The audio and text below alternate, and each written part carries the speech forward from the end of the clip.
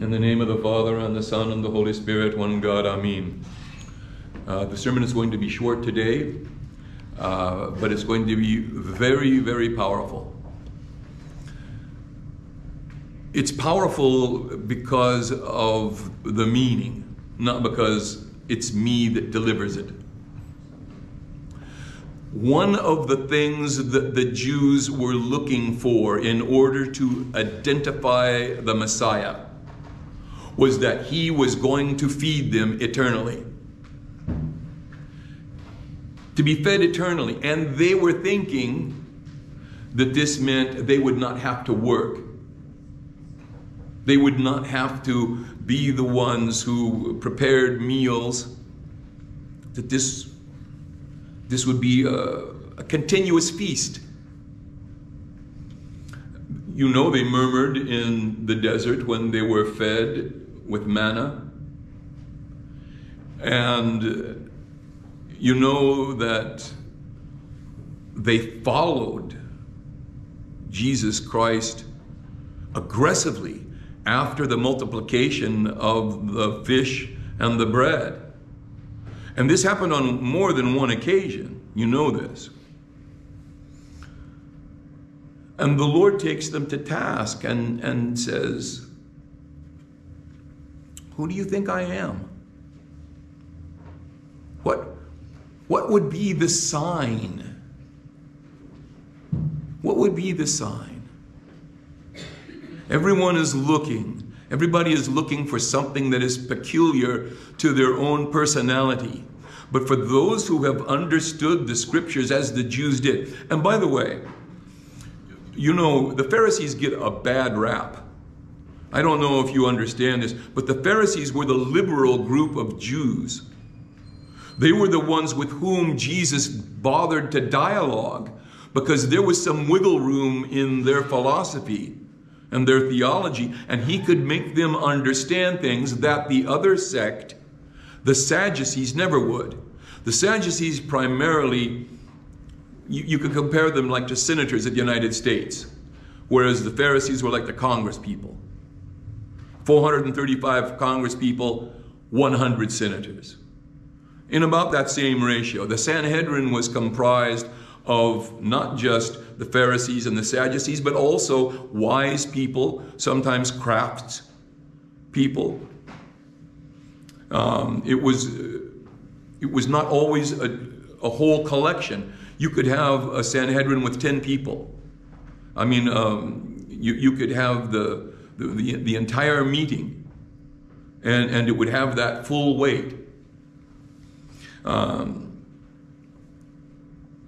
but the Sadducees derived their income from the proceeds of the pilgrims who had come to the temple to worship. We know about this from the money changers. Those people who said, well, you know, a denarii is not always a denarii. You know, sometimes it's half a denarii, like in the temple. this is um, this, this, is the kind of business that you get when you say you, you see in in um, in Spanish you see the word cambio you know, check cashing place. You take your check in and your check says $100, but you don't leave with $100. you leave with something else. Now they will say, well, we've taken the risk, we have the place, we have all of these things that are accessible to people that are undocumented and therefore can't get accounts and normal financial institutions, so we're providing this. But they would have nothing to do with the one that God sent. Because their, their position would no longer be important.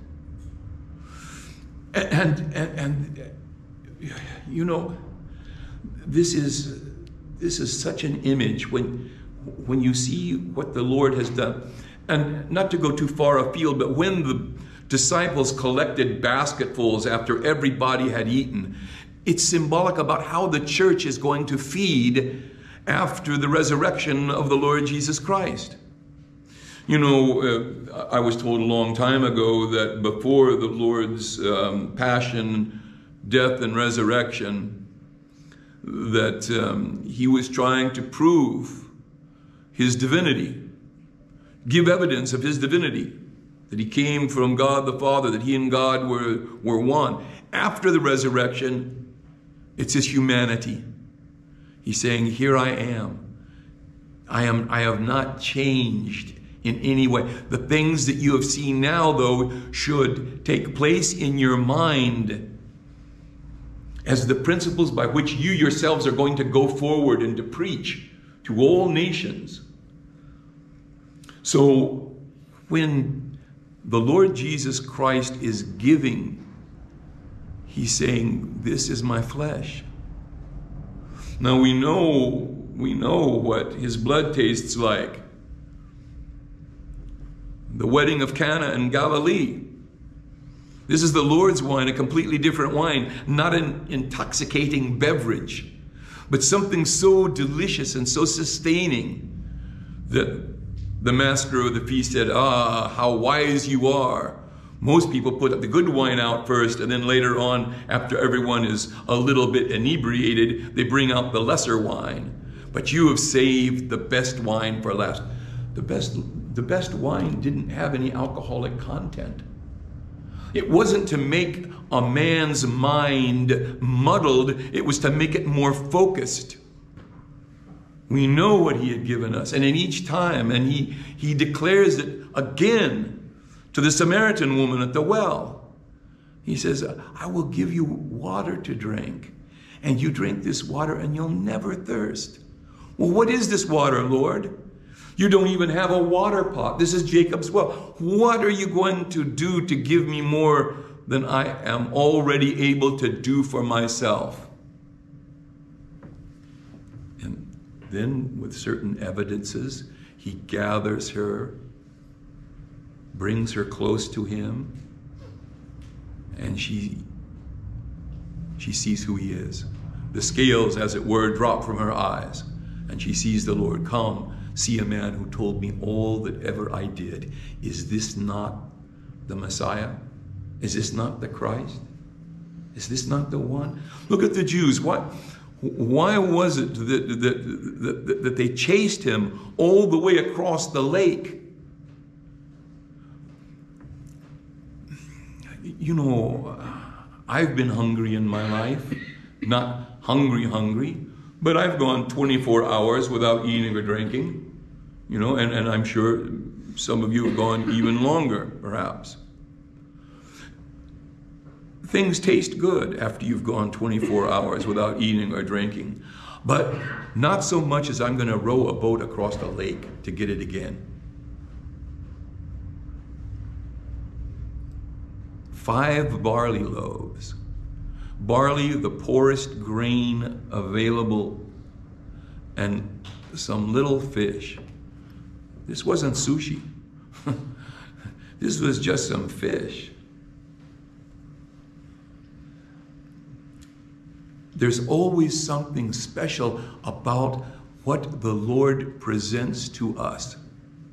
There are layers of understanding there are layers that, if we will allow it to filter through our body, it will meet so many needs simultaneously that sometimes we feel as though it's a disguise that what happened?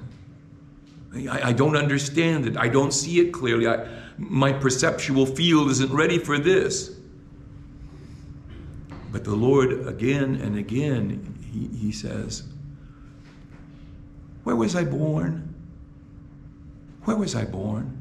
Was it not called the house of bread? Was I not born in Bethlehem? Was anybody ever born in Bethlehem of any note? No, just the one who is going to give you the bread of life, the bread of everlasting life.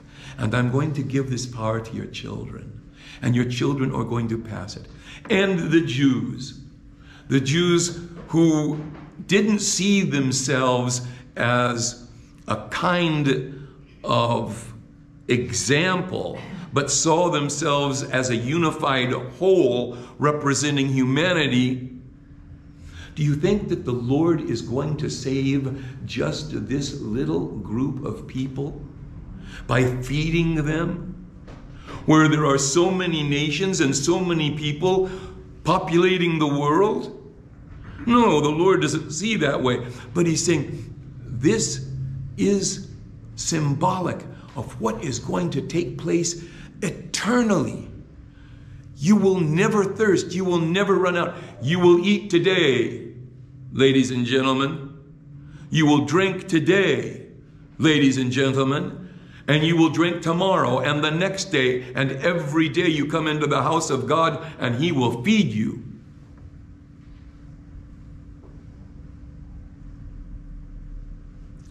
The Lord, um, the Lord is my shepherd; I shall not want. He maketh me to lie down in green pastures. He leadeth me beside the still waters. He restoreth my soul. He leadeth me in the paths of righteousness for his name's sake. Yea, though I walk through the valley of the shadow of death, I will fear no evil, for thou art with me. Thy rod and thy staff, they comfort me. Thou preparest before me no, they, thou preparest for me a table in the presence of my enemies.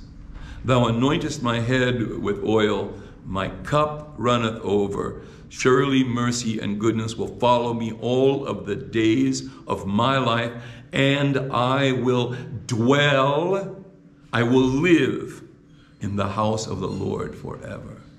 Think about this prayer. Think about this. The Jews knew this way better than me. The Jews were saying this all the time. They had this expectations of the Messiah. Yet when he comes and he does all of these things, they refuse him. And again, did they refuse him because of their intellect or their emotion? They didn't want to be displaced. They, you know, if, if the Lord takes a, a job away from you, He's going to give you a different job. Well, it's not the job that I planned for. Well, He's going to give you a different job. You're going to get something else to do. Don't worry about what you left. You now have this to do. And though so many things have been wrought by the hand of God in the life of the Jewish nation, yet when presented with the living Son, they didn't believe. I hope that uh, you are informed by what I've just said, and I hope that, you know, when you think about communion, you think about the five loaves and two fish. As a matter of fact, we I've ordered two more icons. the last three haven't been delivered yet. Michael Tanius isn't here, so I can't I don't know if he sent the money to Stefan. Stefan holds the icons until he gets payment. so, um, but we're going to get an icon, a large icon of the prophet being given the hot coal from the altar of incense by the angel, which is a significant, a significant of communion. You're taking this very hot coal. And the other one will be the five loaves and the two fish. And it's going to be on either side of the Pantocrator. Till we get a, a, you know, the church reformed and we have a hegab. But as I say, icons are windows to perception and they will never ever lose their value whether or not we have them in the same location or not. Uh, it's been a long time since I've given a sermon because I have so many issues uh, health-wise, um, and it feels a little strange, but I, am going to get back into the rhythm, I hope, by God's grace. So pray for me that um, He uh, continues to aid me in healing my back and um, that I may serve better. Glory be to His holy name, both now and ever, and unto the age of all ages. Amen.